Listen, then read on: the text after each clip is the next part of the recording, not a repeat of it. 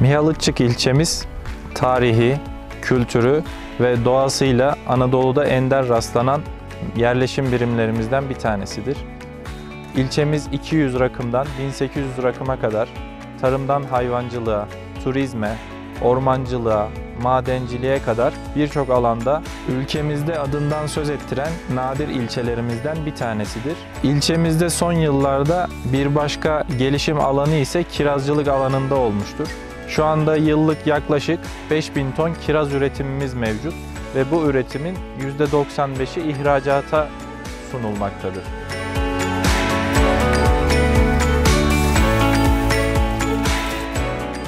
Miyalıçık ilçemizde çoğunluğunu kiraz üreticilerimizden oluşturduğumuz Meyve Üreticileri Birliği'ni kurmuş bulunmaktayız. Bu birlik ile bugün yaklaşık 5000 ton olan üretimimiz inşallah önümüzdeki günlerde 10 bine 15 bine kadar ulaşacaktır. Hı.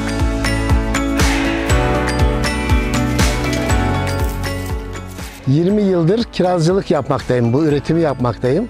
Regina tipi kiraz üretmekteyiz. Bu kirazlarımızı 80 dönüm, 83 dönüm arazi üzerinde yapmaktayız ama şu anda 1400 ağacımızda meyve var, onları topluyoruz. Bunun yanında 4 yaşında olan ağaçlarımız var. Onları da nasip olursa önümüzdeki yıllarda yapacağız. İlçemizin yüksek rakımlı olması sebebiyle e, kirazın çiçeklenmeye başlangıç zamanı Nisan ayın sonlarını bulmaktadır. Bu da, bu da bize e, Türkiye'de son turfanda kiraz üretmemize neden olmaktadır.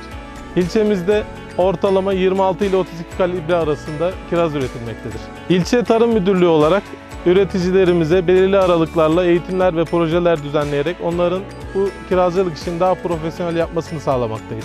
Ayrıca ilçemiz Akdeniz meyve sinirlerinden ayrı Türkiye'deki 3 alandan birisidir. Bu da bizim ihracatta elimizi güçlendiren sebeplerden birisidir.